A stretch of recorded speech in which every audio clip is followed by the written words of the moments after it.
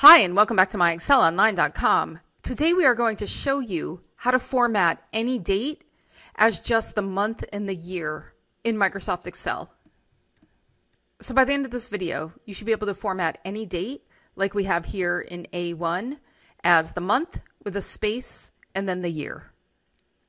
Also, we will have some additional training options for you at the end of this video, so stick around for that.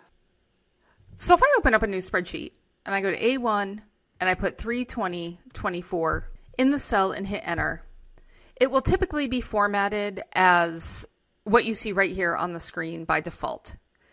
But what if I just need to display the month and the year, and not even the full year, but just the two digit year? How would I go about doing that? Well, first I'm going to click in A1, and then I'm going to go to the Home ribbon and over here to the number formatting group. And then I'm going to select this down arrow.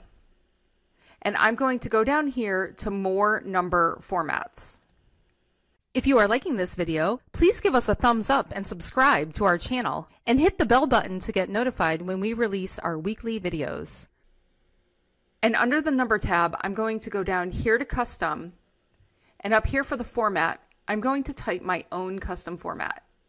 So I'm going to highlight what's already in there and type capital M twice with a space and capital Y twice. And then I'm going to say OK. And now you can see that Excel is formatting this date as the month and the year. So if I go in here and I put 4124 and hit enter, I'm getting 0424. And notice also because I put two capital M's that I am getting the placeholder of zero before the month. So the month will always be displayed as two digits. So we go into this a little bit more out on our blog, and I'm going to include a link to that blog entry in the description below on YouTube if you would like to go there and learn more. If you have any questions or comments, please leave them for us and we'll get back to you. Thanks for watching, and see you again next time.